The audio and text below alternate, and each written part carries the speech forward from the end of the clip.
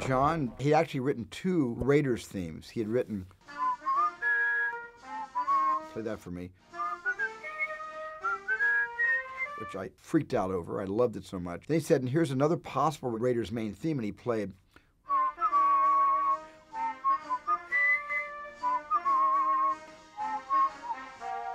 And so he had had two choices. And I think my only input was, can't you use both? And he did. He made the latter the bridge, and he made the former the main theme. That's a perfect example of the kind of collaboration that we've done with these things. Interesting about that.